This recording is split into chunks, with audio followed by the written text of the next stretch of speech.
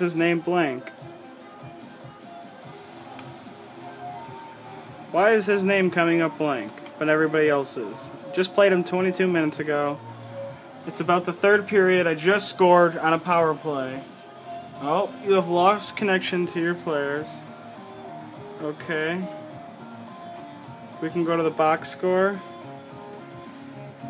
I was Tampa Bay, team one, four to two. He was the Sharks. Disconnected from live? How does that even make sense? If you come over here, I got Facebook and everything up right here. SoundCloud, GB right here. Baking is fresh right there.